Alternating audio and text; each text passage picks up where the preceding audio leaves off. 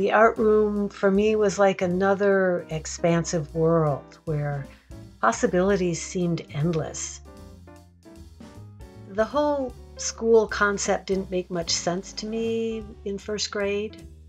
Somehow, having to sit in rows of desks for most of the day, it just seemed artificial and contrived. But when I entered the art room, my senses, curiosity, and my imagination were ignited, and I was eager to delve into whatever projects Mr. Hodge had arranged for us. Each art class felt like an expedition into new ideas and materials and tools. We got to make decisions on our own and to see where those decisions led.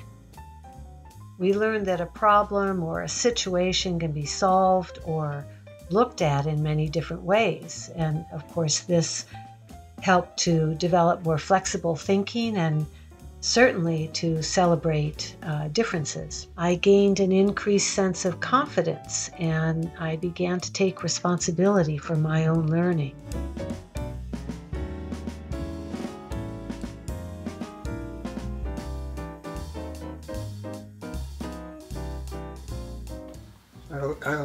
The feedback. I like the, res- the response that uh, the, the kids have. Uh, they're all postmodern, by the way, in, in terms of artistic times, and I wouldn't have it any other way.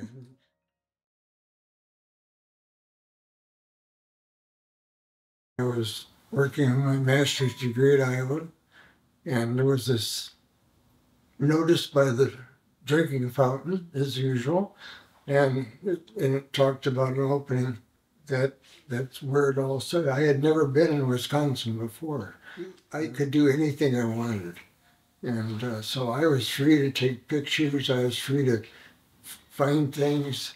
Uh, student teachers, I'd always pick their brains because they're always way ahead of me anyway, and so it, it was a, it was great.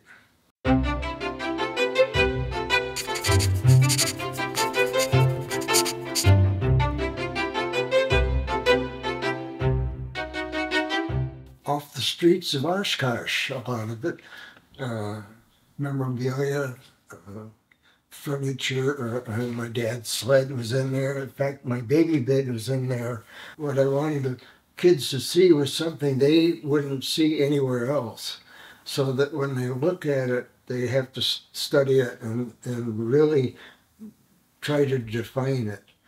They, I wouldn't say anything, and then pretty soon they're looking up, you know, and I said, Mary Poppins parking lot. And it was a perfect uh, response, I guess, because that's what it said.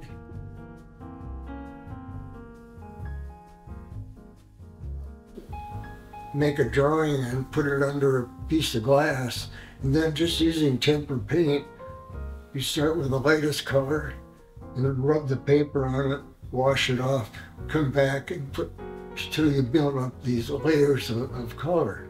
And I thought that was kind of fun for me anyway. and the, the one child is just amazing. Every detail smoothed the elephant out and made the ears, and it was just uh, uh, an anatomical model. The other little girl just kind of slapped these things together, and it had texture, and the, everything was kind of crooked and backwards. And I thought, now this is this is what you have to think about. Which kid would you give an A to? And I would have to say that'd be a tough decision, but I still like to go with the kid with a flamboyant uh, style. So when I had an exhibit every year, I would put everybody's work in no matter what. And that was the most exciting part of it, was you go from first grade to second grade to ninth grade to back and forth, you know. It was not projects for seventh graders all day long, you know. It was, it was a variety.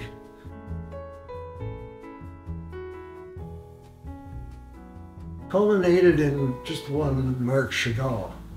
And I love the storytelling that goes on in all of these.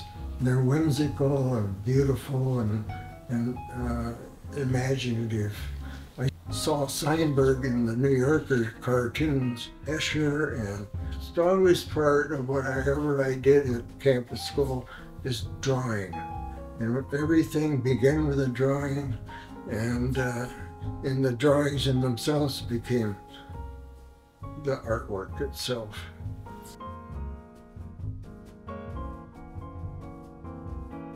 Like folk music. Uh, I've never, I never quite understood folk music till I moved to Wisconsin. And I can understand the words. I enjoy the stories. And again, it's like Chagall. It, it it's something about life. It, it's not the kind of noise sometimes that I can't understand. I on a vinyl, by the way. and uh, James Thurber was one of the, again, a great storyteller with a lot of humor. The classroom teacher uh, was really the art teacher a lot. And uh, these things, uh, that's why the book became popular. My classroom teachers buying the books rather than needing the books, rather than art teachers needing the books.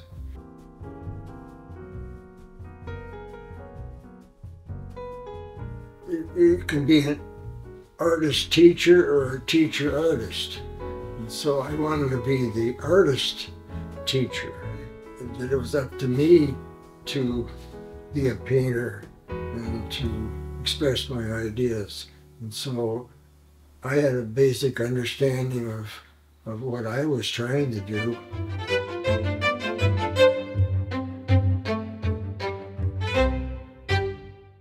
And he had a book that he published, and one of my pieces of art, the, the, a linoleum block print, was in the book. Oh, yes, he said, um, I used to take that print around when he would do like these uh, exhibits. But one time it was stolen. And it was the only piece of art in the whole exhibit that was stolen. I thought it was pretty good because he put it in his book and then somebody else must have liked it because it was stolen. Because he was an amazing teacher and he taught he taught um, he taught me how to believe in myself. Yeah, so one of the things I made, I remember, was a um, he had us make plaster sculptures, and he actually liked my plaster sculpture because it was different on all sides, and I was very proud of that. I do remember the, uh, the famous David Hodge photograph with the Volkswagen VW bus and I, I, was the one uh, sitting on top of the cab of the bus when he took the picture. But, but Dr. Hodge was always uh, very easygoing. That was quite different than our first art teacher, who was more of an authoritarian, scary figure. David Hodge was always a friend to all the kids and uh, made art class fun, even if he had only limited skill. I, I only have like great memories of his, uh, again, sort of gentleness and uh, positive um, teaching, uh, and, and really making everybody feel, whether you knew it or not, that you had some artistic uh, soul. For many people that had him, and including me, has been uh, something that I, you know, that I remembered my entire life and still do. And it's just really great. He's a remarkable teacher. Uh, he's one of only a few teachers, I think, in my lifetime that I really remember. He was a big influence. I continued on with art and in high school and I do it on my own spare time ever since. And I'd like to thank David for being there when I was ready to open my world up to other things. We knocked a, a baseball through his window and on the weekend when we were playing outside school and everyone ran away but me and he looked out and said, Tarn, did you throw that baseball? I said, I didn't throw it, but I was part of the group. And he said, don't worry, go on home. but I remember one time I was outside, I think in the summer with a, some of my schoolmates, and we were playing outside under the art department. He came up and said, come on up, and we did a, a quick art class in the middle of summer that was kind of impromptu. So that was David. He always enjoyed showing his talent and encouraging all of us. I want to thank you for what you provided me all those years at campus as our art teacher. I thank you and God bless you. And while I never was good with the hand drawing or sculpture, I did get into photography. I've taken hundreds of thousands of pictures, and I do give credit for my eye for photography to Dave Hodge because I think he taught us how to look at things in a creative way. Classes, we made a moon for a school dance. It's this great big box, probably five feet square, and cut a big round circle in it and put lights behind it, and we treated the paper to make it look kind of opaque, and that's my memory of art class. He'd find art in anything. I'm not the least bit artistic, but he could find it in anything he saw alongside the road or anywhere. He art class was taking making a potato paper mache sculpture, and I ended up making a raccoon because that's what I thought the uh, potato looked like. Uh, I will say I still have that raccoon today. Somehow. One time he did this exercise in which he took a slide and projected it onto a model, a person sitting on the table. And we had to draw not the person, but the spider web projected onto that person's body. Um, that was a difficult exercise. you never knew what was going to be coming up next. Was very innovative and very good at um, allowing people with little or no skill like me to feel like we were actually making art. That I think turned out to be kind of a positive thing for me over the years as I developed an interest in photography and design and um, uh, one of the key tenets of Dave's teaching was what he called contour drawing, where student would put a pencil on the paper and then look at the item they were going to be drawing, but never look back down at the paper. And I recall uh, drawing something in that, using that technique and finding that my pencil had left the paper uh, several minutes before and I'd drawn on the table. Doing work that was subpar, so that was, that was a good thing. And honestly, in, in uh, elementary and middle school education, uh, there's a lot of grading and judging that goes on, and uh, it's nice to have an environment where none of that really seemed to be in play. One of the um, exercises that he had us do that I remember really loving was we made stained glass pictures, and we took a piece of glass, and he had all these shards of glass, and we drew a painting with black paint on our piece of glass and then we glued pieces of colored glass to make a mosaic. And Mr. Hodge treated everybody in the class as if they were an artist. There were no good artists and bad artists. It was a very egalitarian environment and very free, and we were all encouraged to explore Thank you, Mr. Hodge, for everything. Look at this incredible still life on the, I guess, west wall of the classroom that changed, you know, every week or two. We got to learn how to do contour drawing. We got to see the world and see our environment in new and different ways. It was magical and it was fun and it was stimulating and uh, it and nurturing, and we could all feel how much Mr. Hodge loved what he was doing and loved us and loved to see us blossom and grow. You know, whether we had any true artistic talent or not. I just want to thank Mr. Hodge, my, who is now my friend Dave Hodge, for inspiration, for helping me learn how to look at the world and look at my immediate environment in fresh ways and to look for you know the the art and the creativity in in everything around me and around us. It's, it's, it's a true gift. And he had this enormous trust in the kids because uh, he would let us do anything um, to the point where I think I remember him almost burning the building down once because he had some uh, clay models in the kiln overnight and some, somehow that started the building on fire. Just reminds me of what a great um, lover of kids he was. He, he knew his students and he just loved having us there and letting us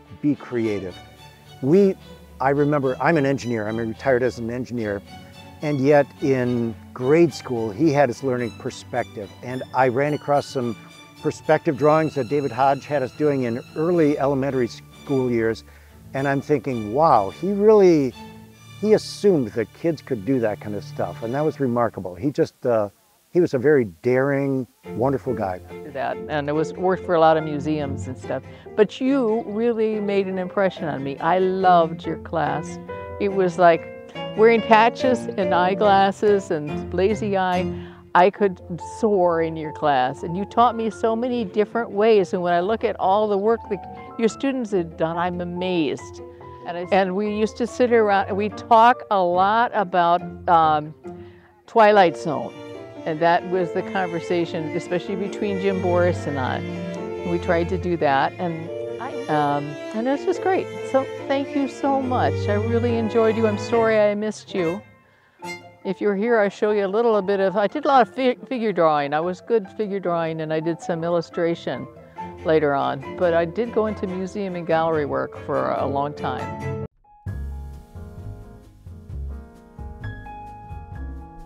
Galen Stone, who was the dean of art at Concordia, wow, what are you going to do with these things? Because it's true. As far as our university is concerned, the next teacher comes along, has another philosophy, and anything before that is is gone. And it is now in Concordia University's art education studio and so I, I'm, yes, I'm glad you asked that question because that's really important. And if anybody ever gets to Mequon, that that's the place that we might want to reminisce.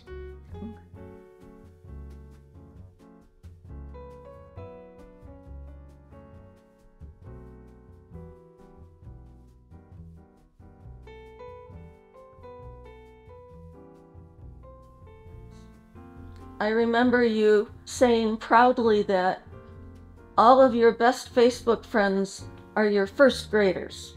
Right. And they're still your friends. They are. There's about over 200 of them on that. And it is just amazing to me. I, as I say, I love the line, I knew them all as first graders. the, all I can say really is that I'm so proud of them and the work that they did. That they were an inspiration. If I was an inspiration, they were even more inspiring to me.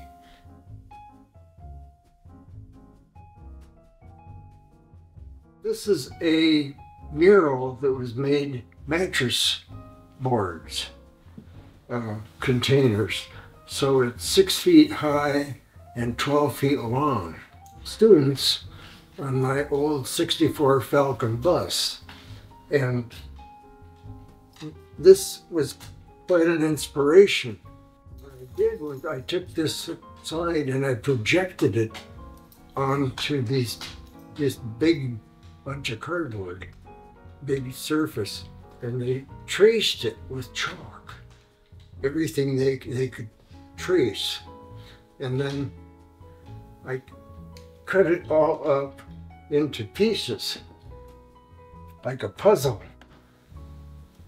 and just handed it out. They're just pieces of things. And so that's how this thing has come together uh, here. But you can actually see the characters coming through this crazy uh, collage. I'd say Mr. Hodge's wonderful open ended teaching techniques helped me to take agency of my own life and my own learning. I also learned that I can take charge of my own life and of my own learning at any age.